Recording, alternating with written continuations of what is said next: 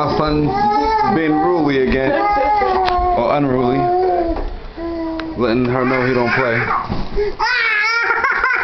Lay down. Good night.